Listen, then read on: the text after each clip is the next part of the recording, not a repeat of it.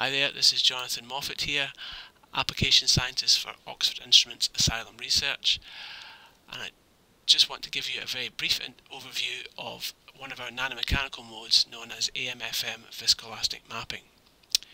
AMFM is an extension of conventional tapping mode which is a well established mode for generating topographical images by scanning the, an oscillating probe across the surface.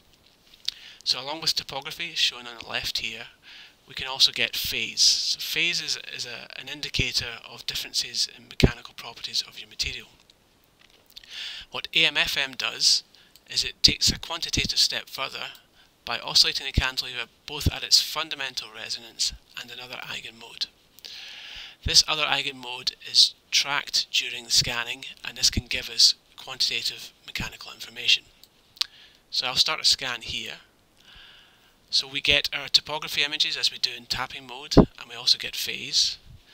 But what we also do is we track frequency.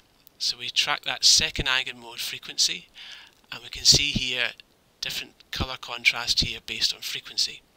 So we can see these bright areas here indicating a high frequency and this indicates a stiffer material. And conversely a softer material indicates is indicated by a darker area here.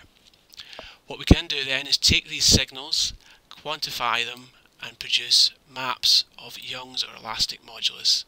So we can see here we're mapping Young's modulus at the same time as we're mapping our topography.